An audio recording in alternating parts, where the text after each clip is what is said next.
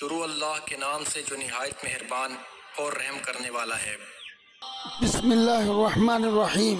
मेरे मोहतरम बुज़ुर्गों, दीनी भाइयों, अल्लाह रब्बुल आलमीन का बहुत ही बड़ा शुक्र और उसका एहसान है कि अल्लाह रब्बुल आलमीन ने रमज़ान का आधे से ज़्यादा वक्त हमें गुजारने की तोफ़ी अता फरमाया। ये अल्लाह का बहुत ही बड़ा एहसान है। अब ये देखो रमज़ान मुबारक एकदम तेज़ी से गुज़र रहा है। अब ये चंद दिन बचे हुए हैं। और पहला रहमत का आशरा भी गुजर चुका। अब ये मगफरत का आशरा भी अनकरीब ख़त्म होने वाला है। और तीसरा आशरा जो जहन्नम से आज़ादी का है, ये बहुत ही कीमती हैं। हज़रत अनस रज़ी अल्लाह तु फरमाते हैं कि जब माह रमज़ान करीब आ गया तो हजर पाक सल्लल्लाहु अलैहि वसल्लम ने मगरिब के वक्त मुख्तसर बयान फरमाया। यानी हज़रत अनस रज़ी अल्लाह रावी है फरमाते हैं कि जब रमज़ान का चाँद नज़र आ गया, अब मगरिब का वक्त था आपने नमाज़ पढ़ाई, मगरिब के बाद आपने एकदम मुख्तसर बयान फरमाया। इसमें इर्शाद फरमाया कि लोगों, रमज़ान तुम्हारे सामने आ गया है और तुम उसका इस्तकबार करने वाले हो। गौर से सुनो, रमज़ान की पहली रात ही अहल किबला यानी मुसलमानों में से हर एक की मगफरत कर दी जाती है।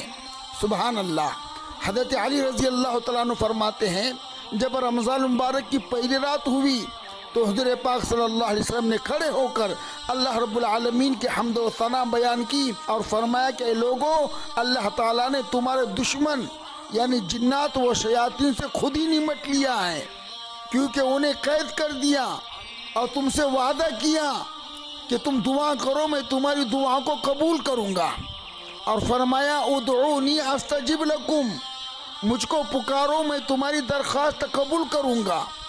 तवज्जो से सुनो, अल्लाह तबारक ताली ने हर शर्की शयातीन का, यानी जितने भी जो शर्की थे, ज़्यादा भड़काने वाले थे ईमान वालों के ईमान दाव पे लगाने वाले शर्की शयातीन, अल्लाह की रहमत से दूर करने वाले, ऐसे शैतान को अल्लाह ने सात फरिश्ते उसके ऊपर मुकर फरमाए।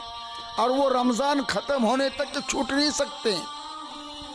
तो गौर से सुनो कि रमज़ान की पहली रात से लेकर आखिरी रात तक आसमान के तमाम दरवाजे खुले रहेंगे। और जो इस महीने में दुआ करेंगा, अल्लाह का वादा है कि हम उसके हर दुआ को कबूल फरमाते हैं। जब आखिरी आशरा, यानी अब जो अनकरीब शुरू होने वाला है, इक्कीसवीं शब से हमारा बीसवा रोज़ा जब ख़त्म होता है तो वहाँ से आखिरी आशरा शुरू हो जाता है। तो फरमाया कि जब आखिरी आशरे की पहली रात होती है तो हजर पाक सल्लल्लाहु अलैहि अपनी लुंगी कस कर बाँध लेते हैं और औरतों के बीच में से निकल जाते हैं और एहतिकाफ़ फरमाते हैं। और एहतिकाफ़ ये सुन्नत है सुन्नत आल किफ़ाया है। इसलिए हर बस्ती के अंदर अपने मस्जिद के अंदर ये एहतिकाफ़ करना हर एक के ऊपर सुन्नत है। लेकिन अगर किसी ने एक ने भी एहतिकाफ़ कर लिया तो ये सुन्नत सबके तरफ़ से आधा हो जाएँगी। अगर किसी एक ने भी एहतिकाफ़ नहीं किया तो सारे बस्ती वाले गुनहगार होंगे।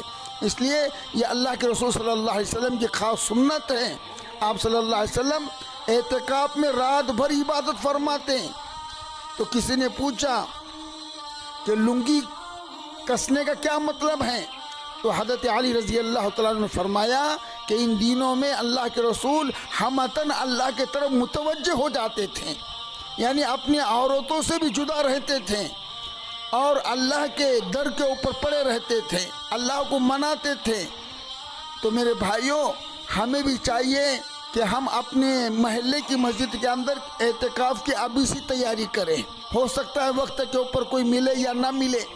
हाँ मजदूरी के ऊपर किसी को पैसे देकर एहतिकाफ के लिए बैठाना ये जायज़ नहीं है। हाँ कोई परेशान हाल है जिसका घर दूर है और खाने पीने का इंतज़ाम नहीं कर सकता है तो मस्जिद के पड़ोस वाले अगर कोई उसकी खिदमत करता है तो ये जायज़ है। लेकिन किसी को पैसे देकर एहतिकाफ में बैठाना ये जायज़ नहीं है। तो ये एहतिकाफ गोया के अल्लाह के दरवाजे को खटखटाना है और जो एहतिकाफ में बैठेगा इन अल्लाह रब्बुल आलमीन उसके गुनाहों को माफ़ फरमा देंगे। और बहुत सारी फजीलतें हैं और इसके बहुत सारे मसाले भी हैं। इसलिए अपने मस्जिद के कराम से रुजू होकर जो एहतिकाफ में बैठने वाले अभी से अपने मसाइल को पूछ लें। क्योंकि हमने देखा कि बाद एहतिकाफ करने वाले बात करने के लिए यानी घर से कोई आता है और मस्जिद से बाहर कदम रखकर अगर वो बात कर रहा है, उसकी वजह से उसका एहतिकाफ टूट जाता है। हमने कई मरतबा देखा। हाँ मस्जिद से अगर फरागत के लिए वो जा रहा है, इस्तेंजा खाना वगैरह में।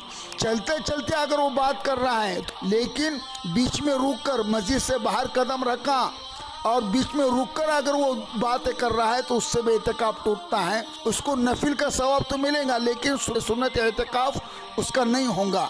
यानी ऐसे बहुत सारे मसले हैं जो अपनी मस्जिद के से पूछ कर उसको अदा करने की कोशिश करें।